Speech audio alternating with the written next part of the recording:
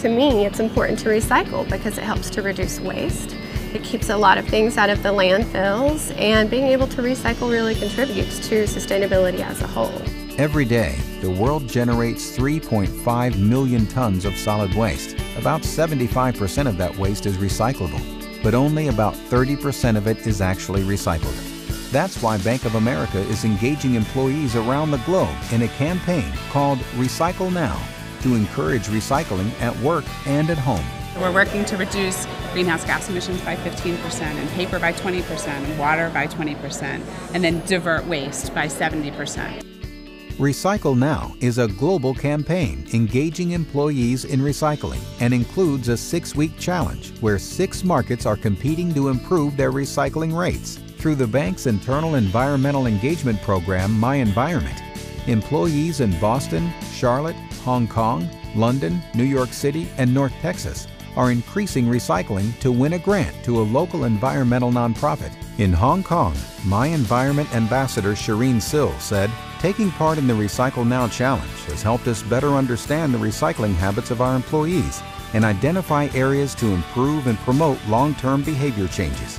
I think the problem that people have with recycling is that many people don't actually know how to recycle correctly. We have so many associates that already recycle at home, that already know how to do it, but when they come into the office aren't aware that they can take part of something that they're passionate about at home. One of the main reasons why I joined Bank of America is because Bank of America has this huge environmental business initiative.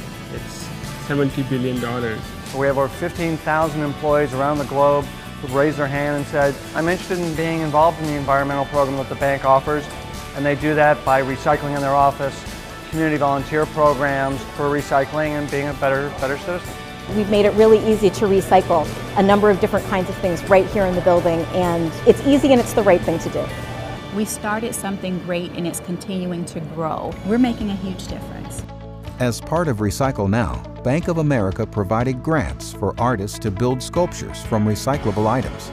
This artwork can help employees understand the life cycle of the products we use and learn about the importance of recycling. In Boston, students used office paper, cardboard boxes, and soda cans to create a larger-than-life vase called Rebloom. We're really recycling. We went around taking all these materials that I hadn't thought would be used for anything to be made into something beautiful that has a lot more value and a lot more meaning behind it. Using recyclables from Bank of America Tower at One Bryant Park in New York, artist Christopher Trujillo created a field of dynamic glowing sculptures from plastic water bottles and paper plates. In London, 8,000 recyclable cups were used to create My Cup, and artist Aurora Robson's Jetsam sculpture in Charlotte represents how the items we discard never go away. In North Texas, artist Kajana Martin partnered with Dallas-based education nonprofit Big Thought to build a sculpture called Each One Teach One.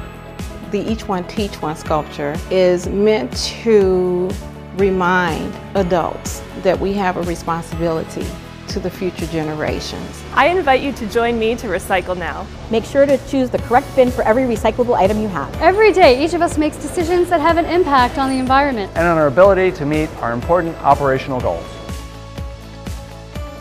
To learn more about Bank of America's environmental commitment, operational goals, and employee programs, visit bankofamerica.com/environment.